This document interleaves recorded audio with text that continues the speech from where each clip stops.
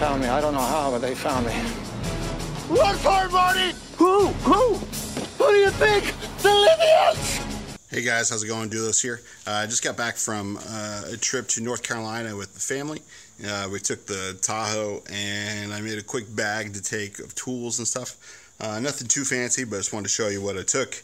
Uh, maybe it'll give you some ideas and uh, make you think about a tool bag to keep in your car. Now, I've got to make a new bag to keep in the car because I've got some stuff in here I don't want to keep in here, the better tools. Um, but it'll be some version of this probably for long term. So this is probably going to be a little bit of overkill, uh, but I got this uh, cheap tool bag from Harbor Freight. Uh, it's got a glow stick in here. I had this. I was going through some of my range gear and found this and threw it in there. Uh, let's see. Pretty decent bag. You know, I'll see how it holds up long term, but pretty decent quality. Um, I had this from a while back. Just had some fix-a-flat. Not the biggest fan of this stuff, but um, you know, worst case scenario, you can't get the car jack, can't get the tire off. You know, at least you've got something. Next, I had a pair of my uh, mechanics gloves. These things are pretty ind indispensable if you're not doing like oil change or something. We're gonna use a nitrile glove. Uh, these are fantastic. I had one tie down strap. I thought I'd bring in two, but I didn't really need two. Probably wouldn't even need one, but I brought it just in case. Had a couple bungees here. I also had another bungee in the back of the truck that I used to tie the bag down so it wouldn't become a projectile.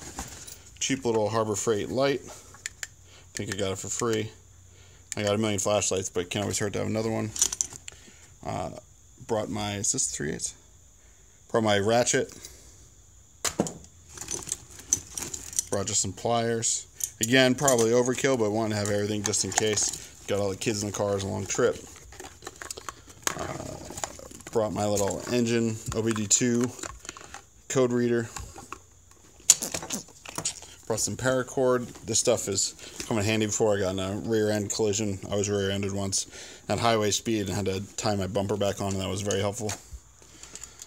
Uh, zip ties galore in here. You never know you're gonna need a zip tie. Stick a bumper back on or put something up. It's got a flathead. Got uh, a ratcheting screwdriver, but I brought it because it takes different bits. Brought some shop towels. Brought some nitrile gloves. Put these back. And instead of bringing a long uh, breaker bar, I just brought my Makita Impact. Figured for the minimal size and weight and not having to find a place for the bar, it was awesome. Um, I do have lug nut wrench and stuff in the car, but this will make light work of it. Just brought a battery. There's Dremel bits in here, but I didn't mean to bring in those from stippling on the gun on my one of my Glocks. Another zip tie. Brought some electrical tape. And then I brought a various amount of bits. And then different size sockets, uh, just various size and adapters. Put all these back now.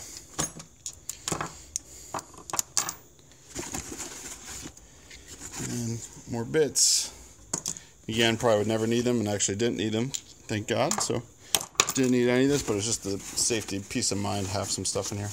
One of the bits fell out. I'm digging it out here. Yep. And then uh, that's it. The one, the tire change bit actually is here. This is gonna go back in the car. This is a deep socket, deep 22, I believe. Yeah, deep 22. That's what's needed for the Tahoe. So that's it. That's all I had in here.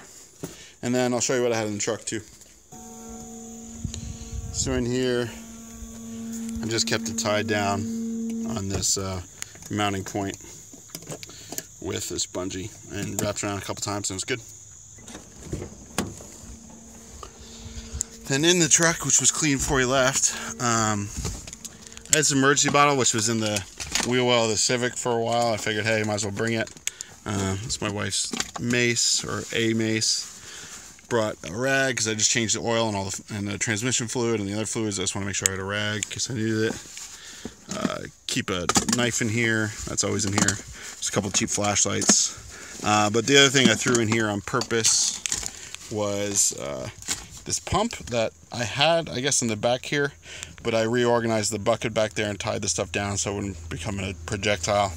Um, so this little air pump in here, I'm probably gonna take this out, and then always have this. This is always in here, but the seatbelt cutter and window breaker. And that's it of note as far as car repair. All right, guys, thanks for watching. Uh, why don't you comment below what you bring or what you do differently? Uh, you know, maybe there's no right or wrong. There probably is a few right or wrong things to bring with you. Uh, but may God bless you. Keep standing up for what's right, and uh, make sure you're prepared because you never know what's going to happen. Or in this case, nothing happened, so that's fantastic. So all I did was check the fluids once when we were uh, down there at our first destination, and that was it. All right, guys. So thanks for watching. Please like, favorite, subscribe, all that good stuff, and uh, we'll see you soon. Oh, may God bless you and keep standing up for what's right.